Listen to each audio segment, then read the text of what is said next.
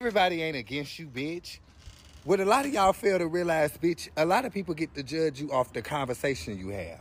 So when you come in a room and you're talking about your best friend and you're talking about your sister and you're talking about shit that you shouldn't be talking about in front of motherfuckers that shouldn't even know what's going on, you done fucked up right there, especially if you around people with good judge of character. Then you want to walk around and act like you don't know why don't nobody like you. Bitch. Stop playing the motherfucking victim, hoe. Stop playing like you don't know what the fuck going on. That's why it's always best that you shut your motherfucking mouth up. Some shit ain't for everybody to motherfucking know.